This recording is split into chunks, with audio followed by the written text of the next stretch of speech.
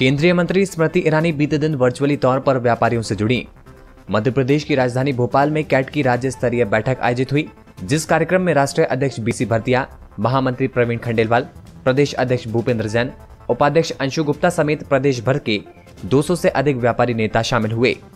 वहीं केंद्रीय मंत्री स्मृति ईरानी ने वर्चुअल तौर पर शामिल होकर व्यापारियों को संबोधित किया।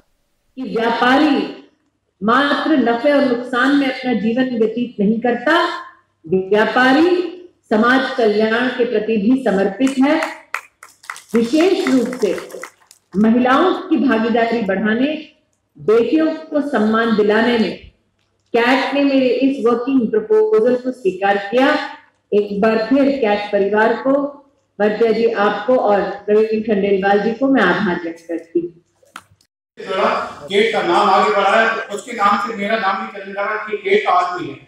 इसी तरीके से आप पूरे प्रदेश भर से सभी व्यापारी लोग यहाँ बता रहे सभी का आभार करता हूँ और जिस तरीके से आज के इस कार्यक्रम को अंशु गुप्ता जी, उनकी टीम बता रही इनका आभार व्यक्त करता हूँ। मध्य प्रदेश की टीम ने जिस तरीके से आज कार्यक्रम को की से जो समय दिया, उनका आभार करता हूँ। और विशेष रूप से भोपाल की टीम ने कल इस तरीके से दो दिन की तैयारी में बहुत अच्छा कार्यक्रम रखा है। सभी का आभार व्यक्त करता हूँ। बहुत बहुत धन्यवाद। जय हिंद